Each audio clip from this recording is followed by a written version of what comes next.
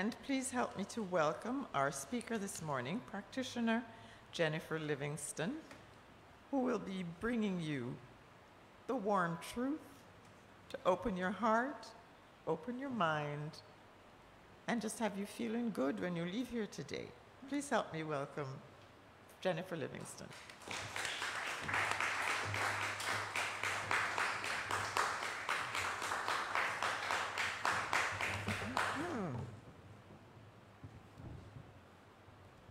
Thank you, Carol, and good morning, friends. Let me also add my own words of welcome to all of you and to those of you tuned into this service on the World Wide Web.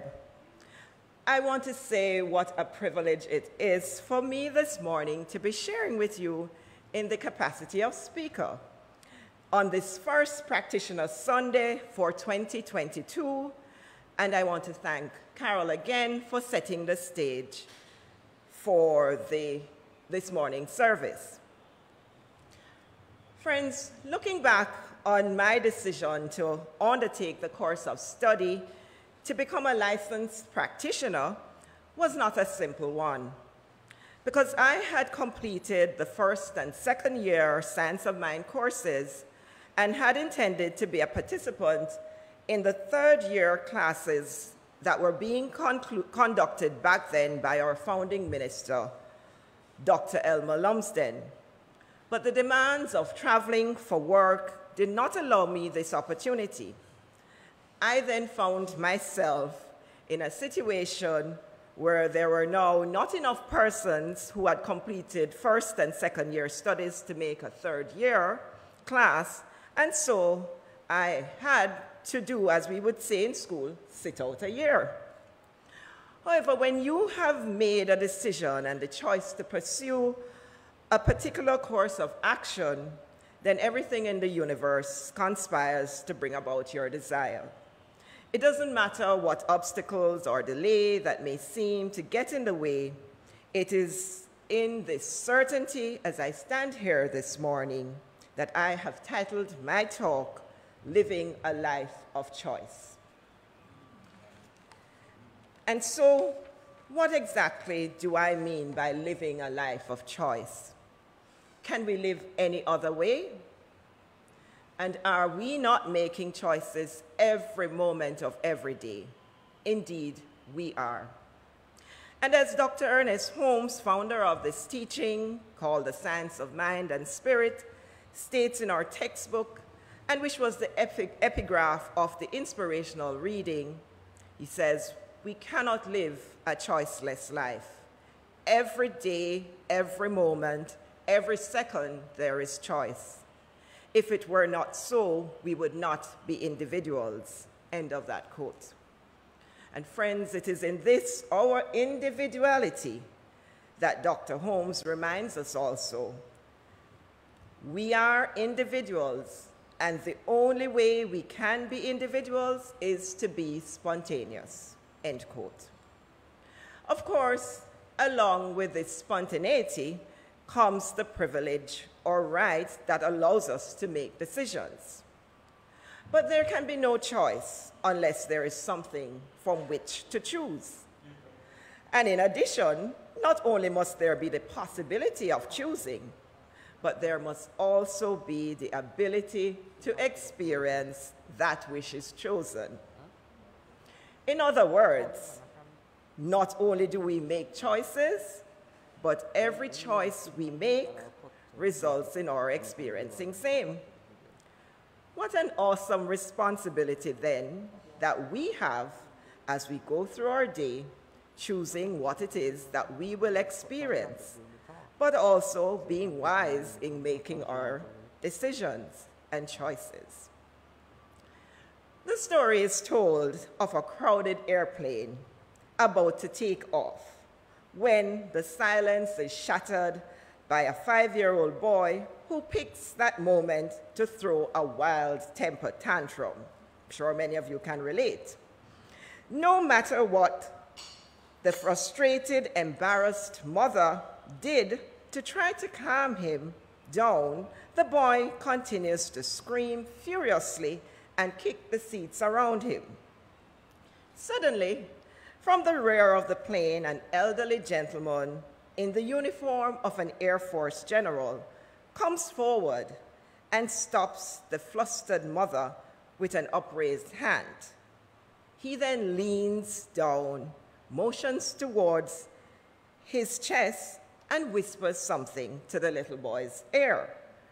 Instantly, the boy calms down, gently takes his mother's hand, and quietly fastens his seatbelt.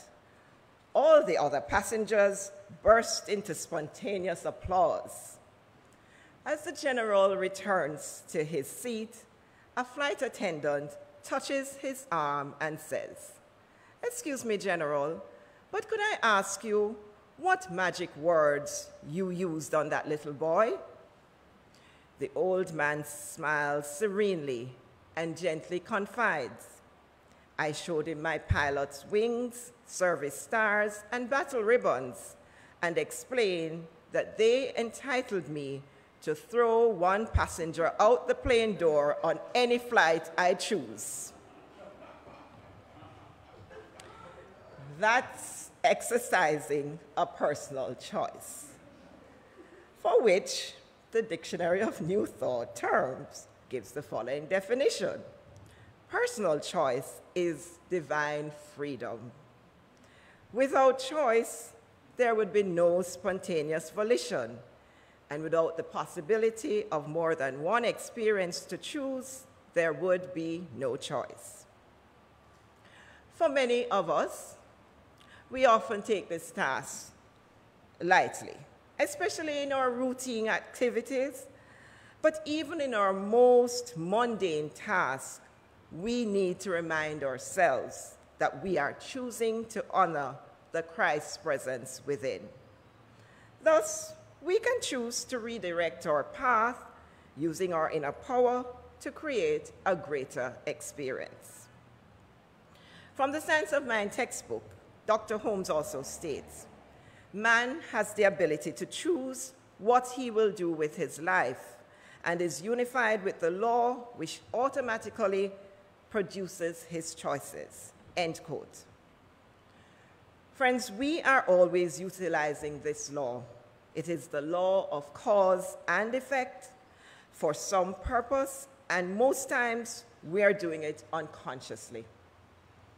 When Jesus, the master teacher, said that we should believe even before we receive, he was explaining the operation of this mental law of cause and effect.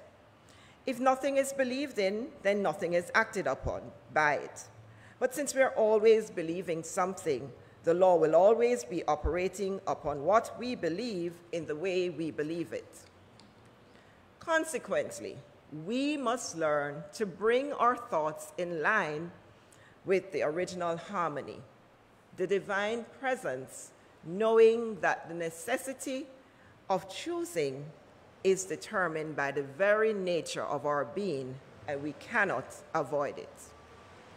So let us say this affirmation together. I will read it once, and you can say it after me. I'll break it down. It says, I honor the Christ's presence within me by being fully present to the choices I make each moment. And so I'll repeat it in parts. I honor the Christ presence within me, together, presence within me, by being fully present, being to the choices I make each moment. And my friends, that is the truth.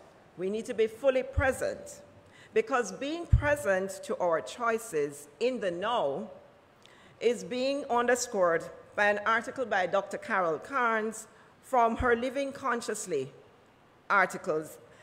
Um, and she pointed to this fact that we only have now moments.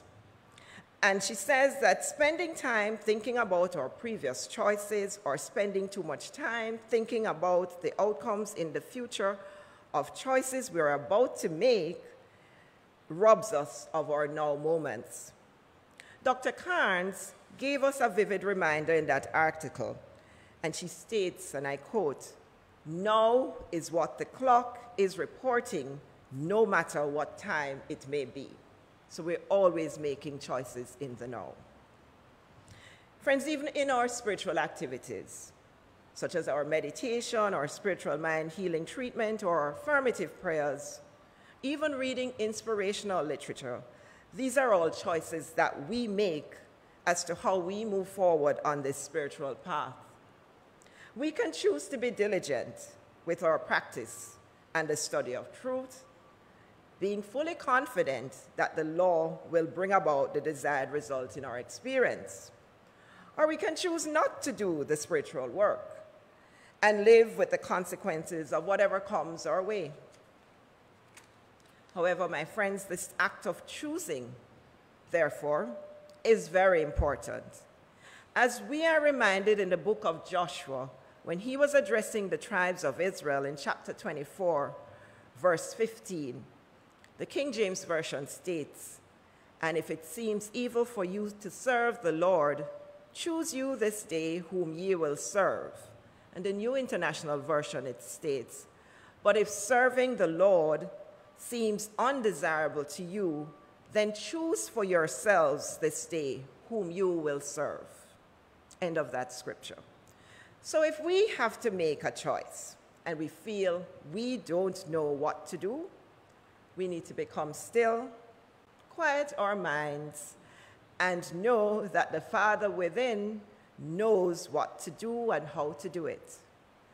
This guidance works for us no matter where we are in the world or what religion we practice. Dr. Raymond Charles Barker, in his book, The Power of Decisions, states the following Decision is the most important function of the individual mind. No creative process can begin until a decision is made. Dr. Barker goes on to state to say you do not know what to do or you do not know what you want is to negate the infinite intelligence which is individualized in you. No one else on earth is better equipped to determine your good than you are. The universe has no favorites, and God knows no special person. End quote. So, as self choosing individuals, we live and move and have our being in that one mind, the mind of God, which is the creative mind of the universe. It flows through man, and it can only return to us what we think into it. No matter what we do, law will always manifest our desires.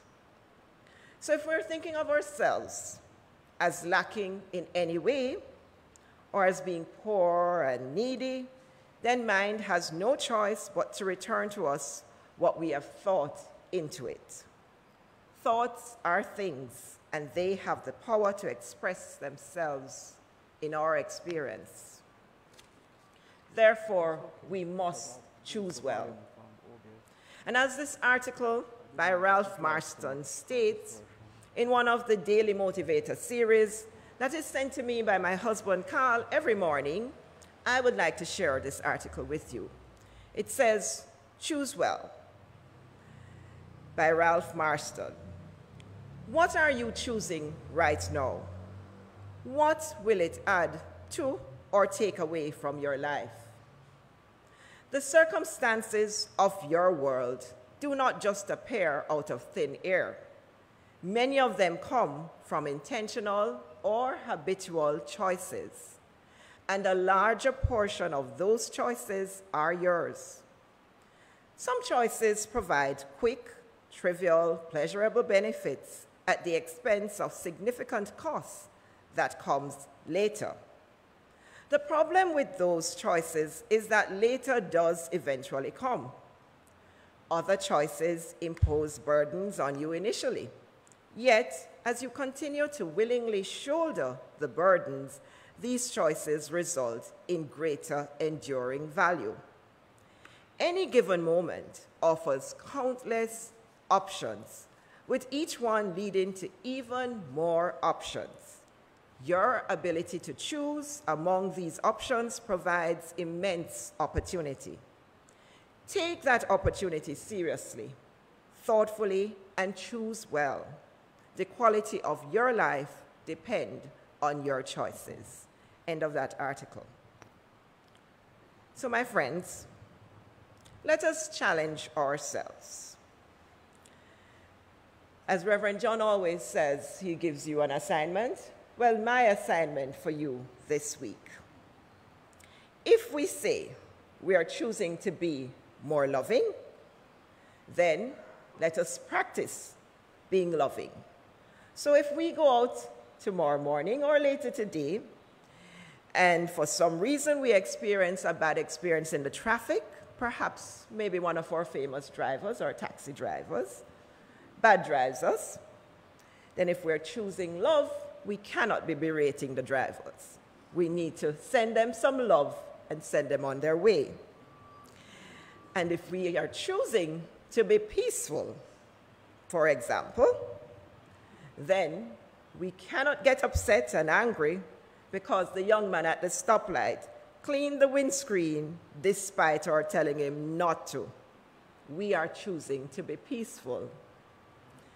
And my friends, importantly, if you're on our spiritual prosperity adventure, or if you're just choosing abundance and to be more prosperous as you walk into a store and you see something, we don't want you to immediately have as your first thought, I cannot afford it.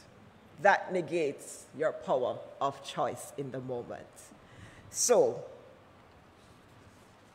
my friends, when we are living a life of choice, here are three things we must remember. Our power is in the moment. We have to make the decision. Secondly, we must be consistently watching our thoughts and our words. Since, thirdly, the creative process will always outpicture our dominant thought patterns and oftentimes even without us making a decision. Friends, one of the most important things for us to remember is that we are always causing something to be created for us. So if today you have a choice to make, maybe a change in careers, a change in a relationship, or a change of residence, or perhaps you want to pursue a new business opportunity. Remember, life responds to us in the way that we approach it. So, in every choice, at every moment, it must be a God centered choice. Let us then, during this week and going forward in this new year, choose to be identified with power, with love, with beauty, with peace, and with joy in the knowing that we are always living a life of choice. Namaste.